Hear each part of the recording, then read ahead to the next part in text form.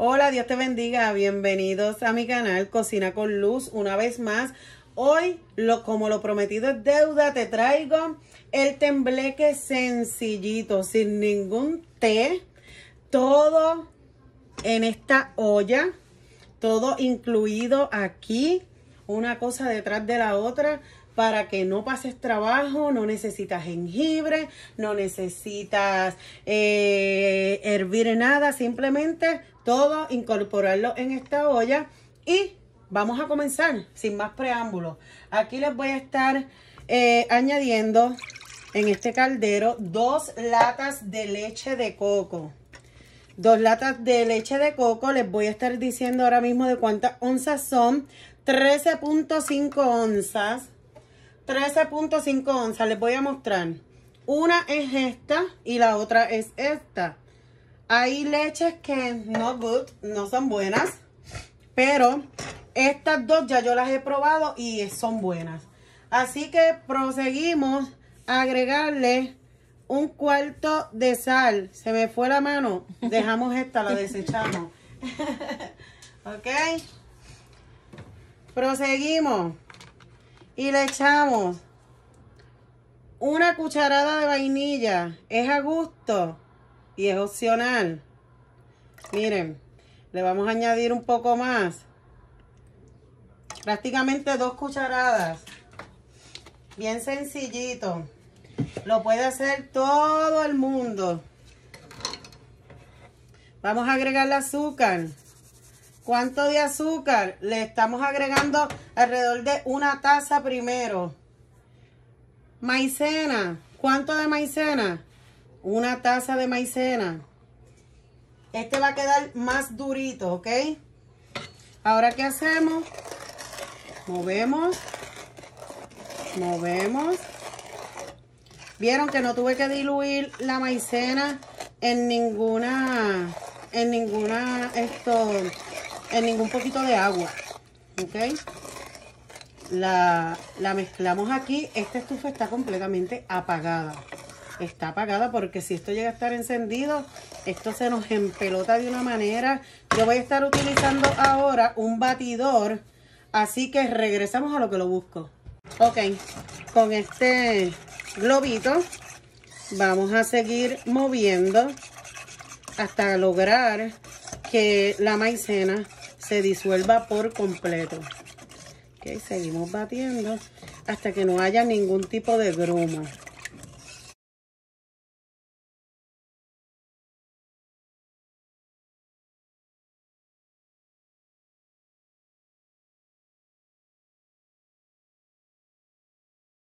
Recuerden que la estufa está completamente apagada. Está completamente apagada porque lo que estamos buscando es que no, esto no tenga grumos. Que esto no tenga grumos porque si no se le va a dañar su tembleque. Ok, ahora vamos a agregar tres rajas de canela. Déjenme decirles, no necesita este azúcar. Una taza de azúcar y ya, ¿ok? Ahora bien, le puse las tres rajitas de canela, que esas también las vamos a utilizar para, para la decoración. Y ahora yo estoy a punto de encender mi estufa. Ahora voy a estar encendiendo mi estufa, la puse en high y ahora es que usted jamás de los jamases deja de mover.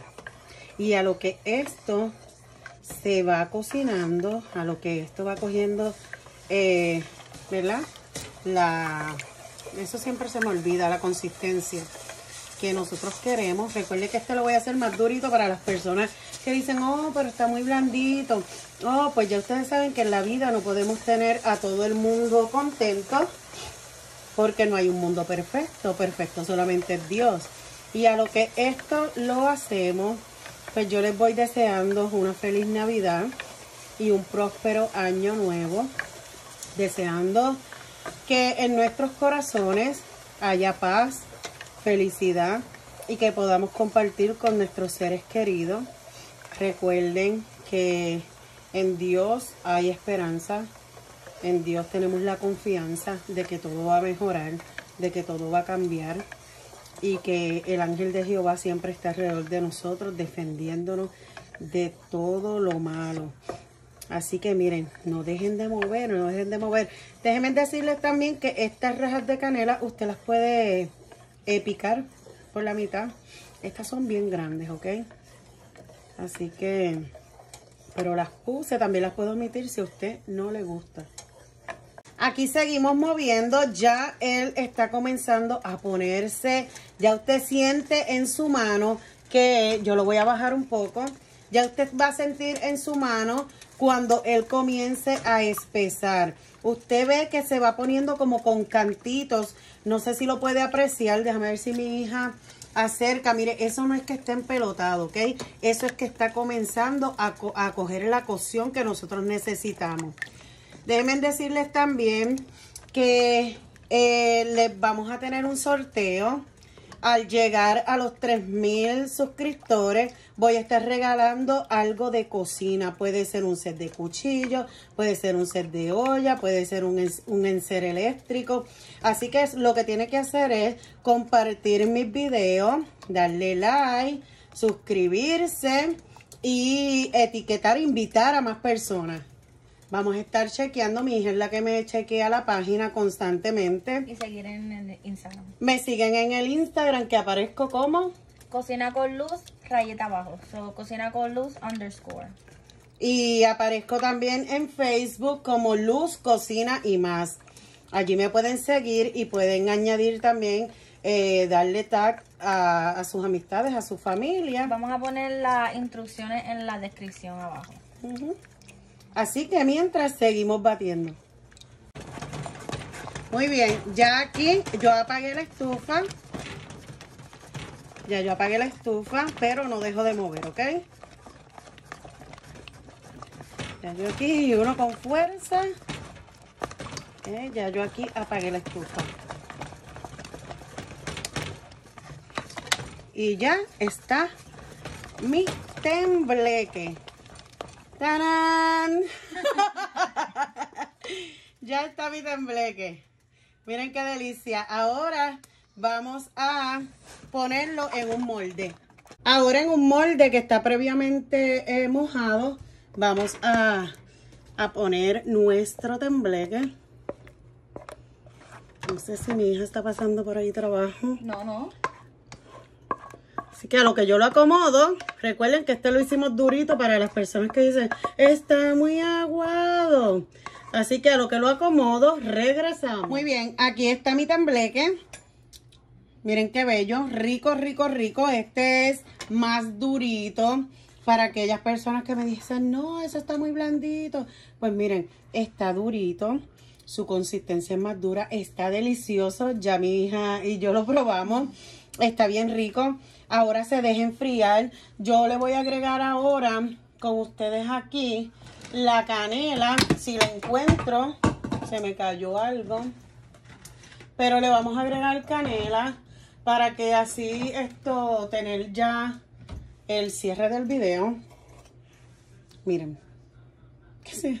Cinnamon. Así que, y luego lo ponemos en la nevera.